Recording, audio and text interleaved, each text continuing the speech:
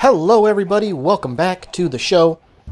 Okay, the next thing that I want to work on in the questing stuff for Botania is opening the Elven Gateway.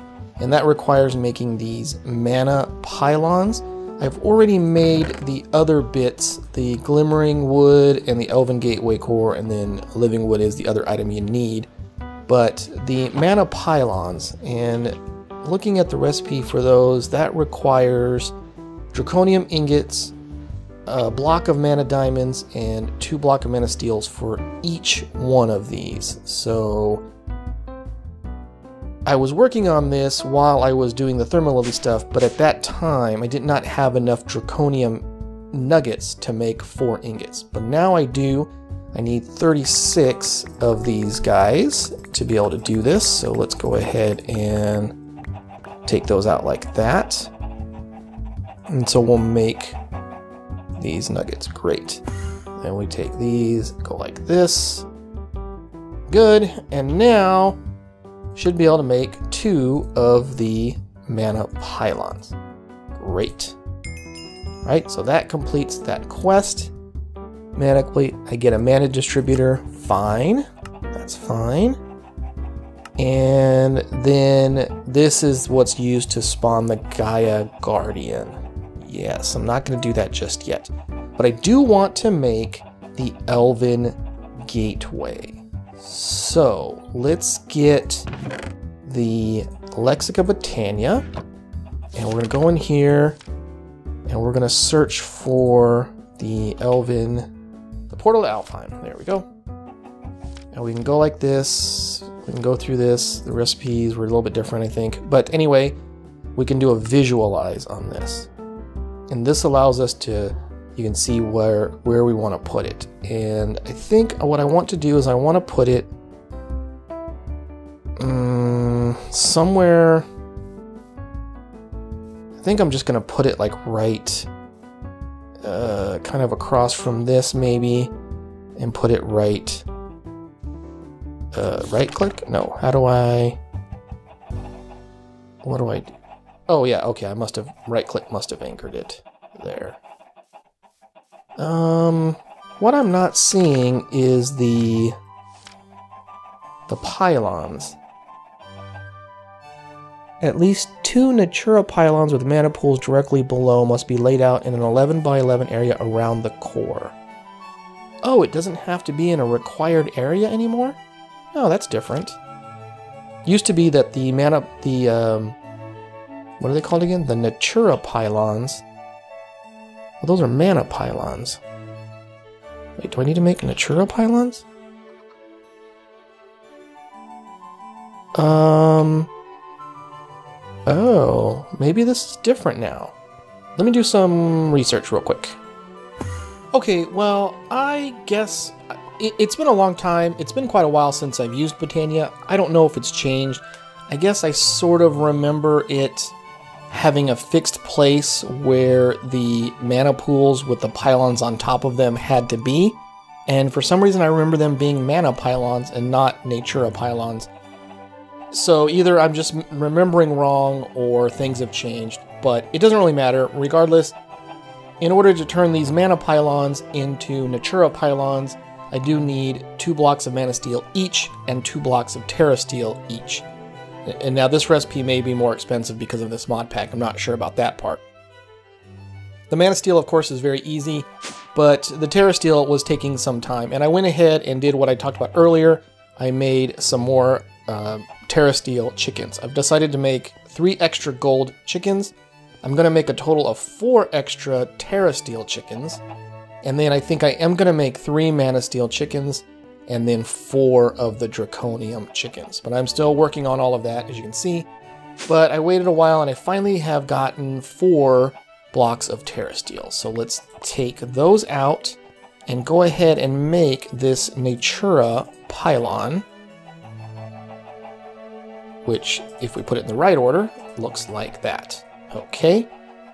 And I think that also qualifies... Oh, I've got to make two more of them? Maybe I have to make four in order to spawn the Gaia Guardian. Not entirely sure, but doesn't matter. I'm not working on that just yet. So I think what I was going to do is put these Natura Pylon here and here. Now, as I said, I seem to recall the last time I did this in a different mod pack that the the mana pools with the pylons had to be in a specific place. But according to this, it just has to be says here that the where is it at? The two Natura pylons with mana pools must be laid out in an 11 by 11 area around the core. And then, yeah, so this is the core, the Elven Gateway core. And 11 by 11 basically means five out in either direction. So one, two, three, four, five would be out to this block here. So I should be, you know, at the right area for it. Now, I don't know if the amount of mana that's required is changed or not. Uh, this right now is very clunky, and I know that it is. Essentially, the I'm going to change this. Once I have the Elven Gateway Core open, I can start making the recessive and dominant sparks, and so I'm going to create a mana battery once I have those. But for now, this is what I'm doing, and just to make sure that the mana gets evenly distributed between these two mana pools. But I'm going to go ahead and try to open up the Elven Gateway.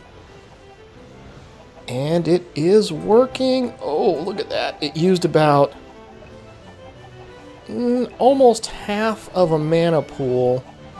Or, wait, what was that? One, two, about an eighth of a mana pool each, so about a quarter of a mana pool in total. Now, I don't know if my Thermalily generation system here is enough to maintain this in an open state or not, but I'm going to go ahead and uh, leave it like that for now. Yeah, that's great. So let's look at what do I want to do to make a mana battery? Well, in order to do that, we need to make the, the sparks. And making the sparks themselves is pretty easy blaze powder, gold nuggets, and any type of flowers will give you a spark. But we also want to make the dominant and recessive augments. Now, the dominant ones require runes of fire and pixie dust.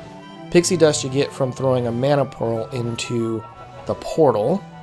And the recessive ones require rune of earth and pixie dust. So that should be fairly simple. It's probably just a matter of figuring out how many I want to make. Now each one of these I want to be recessive, so that's four recessive ones, and then there would be two dominant ones there on these two pools. And then I would have a number of pools in the middle that form, you know, the battery portion of it. So I'm going to go ahead and make the sparks and the augments, and I'll come back when I have that all put together. Okay, I have a bunch of sparks made. So let's go ahead and see how I want to set up this mana battery. Let's go ahead and take out these spreaders here. And I think what I'm going to just do is make a very simple line of mana pools that go like this. Kind of keep things a little bit uh, sort of symmetrical, if you will. I think that's okay. And I want to add a mana pool, say, here. That's going to be a dominant one there. Now we'll put a spark above each one of these mana pools, like that, and then one on each of these four as well. And then one, two, three, and four. Okay, I've got two extra, that's fine. Now, we'll take the dominant sparks, and the dominant sparks are going to be this one and this is always the problem. I don't know if I can actually target that. Mm hmm, that is going to be an issue.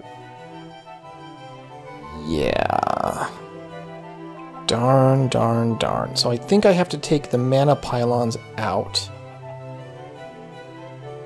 I think that's the only way to do this. I, if I'm wrong, if there's another way to do it, somebody can let me know. But I think I have to remove those. Okay, now I can make this one a dominant and that one a dominant. Fine. And then I want that one to be a dominant. And I want this one over here to be dominant as well. Good. Okay, now, these four here are going to be the recessive. So recessive, recessive, recessive, and... Oops. How come I didn't get... Um, I have to... Kind of hard to target sometimes. Okay. Alright, so these four are recessive, and these two, and this one, and that one is dominant. It's interesting that I took these minor, these Natura pylons out, and the thing is still working, but we're going to put them back like so. It should still be fine. Okay, and then that's going to form the basis of the mana battery, which I could probably expand out at some uh, future point in time if I want to. Now, if you're not sure how these sparks work, these recessive sparks will automatically send mana to any spark that doesn't have anything on it. In other words, these seven here. And then these dominant sparks will take mana from um, a mana pool that has the regular sparks on it. So this basically what this achieves is that these mana pools will empty into these seven, and these seven will empty into these four. And when these four are full, then these will, you know, not empty out, so then they will fill up. And if they become full, then these four will then fill up. So it works, I, I think it's called a mana battery, that's what I've always called it. And it works, usually works pretty good. So I'm gonna wait for this to tick over and uh, there it goes. So there you can see lots of sparkles going on here, but basically the mana is going into these pools, it is coming out of these pools and into these seven, it's coming out of these seven and going into these four dominant ones.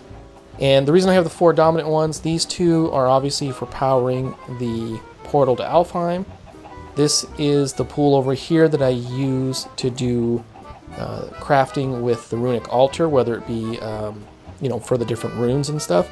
But then I also use this mana pool to uh, craft various items that are changed when you, you know, put them in a mana pool.